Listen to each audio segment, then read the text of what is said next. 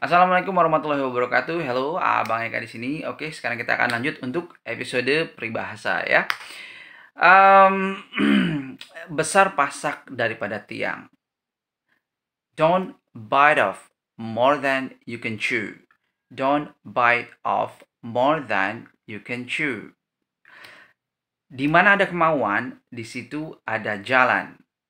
Where there's a will, there's a way.